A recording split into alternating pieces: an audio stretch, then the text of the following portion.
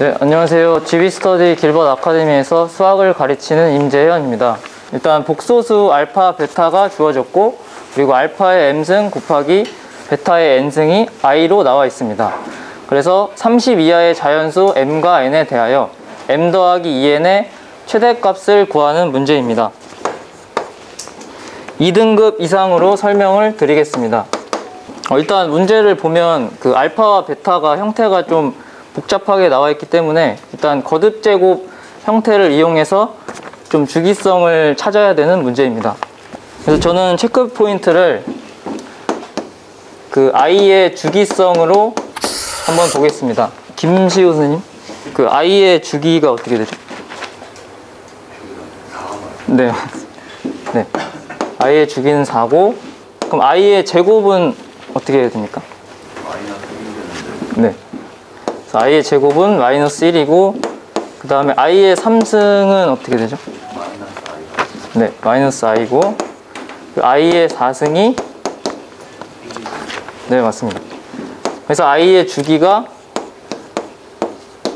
이런 식으로 4임을 알 수 있습니다. 저는 체크 포인트는 i의 주기를 잡고 이제 문제 풀이 시작하겠습니다.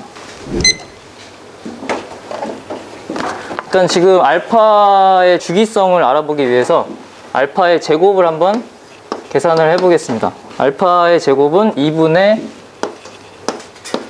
루트 3 더하기 i의 제곱이고 계산을 해보면 4분의 2 더하기 2 루트 3 i가 나옵니다. 그래서 약분을 해주면 2분의 1 더하기 루트 3 i가 나오고 지금 이 형태가 보시면은 베타하고 같은 거를 알 수 있습니다. 그래서 여기서 이제 문제를 보면 알파의 m승 곱하기 베타의 n승이 i라고 나와 있는데 베타가 지금 알파 제곱으로 나왔, 나왔기 때문에 그 베타 자리에 알파 제곱을 넣어주면 알파의 m승 곱하기 어, 알파 제곱 제곱의 n승이 돼서 알파의 m승 곱하기 알파의 2n승이 되고 그 지수 법칙에 의해서 알파의 m 더하기 2n 형태로 나오는 걸 알 수 있습니다. 그래서 지금 문제를 보시면 m 더하기 2n의 최대값을 구하라고 했으니까 여기 m 더하기 2n 형태가 나온 거를 알 수 있습니다. 그래서 이제 알파의 거듭 제곱을 좀 더 해보면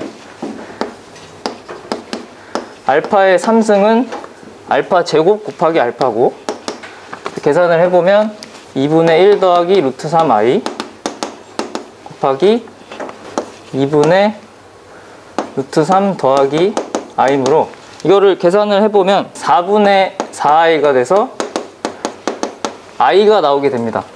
그래서 여기서 이제 알파의 3승이 i가 나왔기 때문에 이제 주기를 발견할 수 있는데 알파의 어, 6승은 김수희 선생님 어떻게 되죠?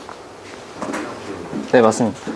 마이너스 1이 나오고 알파의 9승은 마이너스 i 그리고 알파의 12승이 이제 1이 나오게 됩니다. 그래서 이제 알파의 주기가 12임을 알 수 있고 그래서 이제 여기서 알파의 m 더하기 2n승이 i가 나와야 되기 때문에 m 더하기 2n이 i가 나오려면 알파의 3승 다음에 그 주기가 12이므로 3 다음에 주기가 12니까 다음에 15가 나오고 그 다음에 어, 주기가 10이니까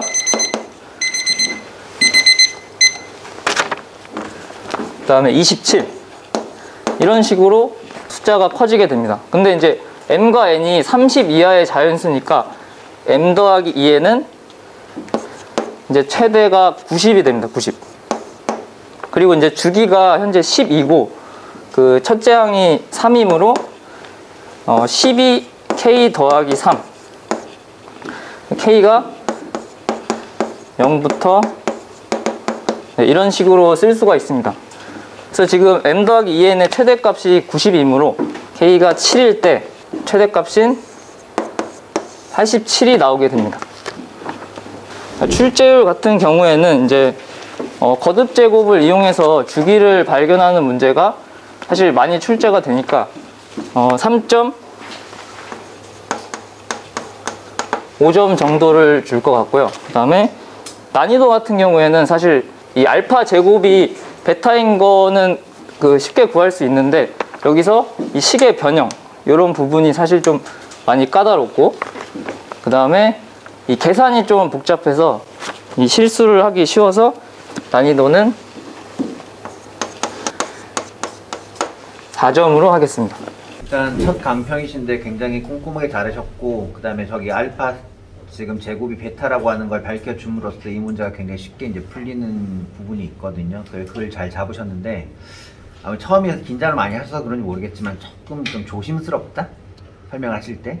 그러니까 지금 제가 볼 때는 확실하게 지금 방향을 잘 잡고 오셨기 때문에 좀 자신 있게 강하게 좀 이렇게 설명을 했으면 훨씬 좋지 않았을까. 그리고 판서도 계속 연습을 하시는 걸 제가 옆에서 봤기 때문에 판서도 처음 하시는 것 치고는 어, 잘한 것 같은데 뭐 잘한 쌤들 보시면 이렇게 색분필을 이용해가지고 좀 강조할 부분을 강조를 하잖아요. 네, 그런 부분을 좀 연습하시면 더 좋은 강의가 될 것 같습니다. 네, 감사합니다. 수고하셨어요.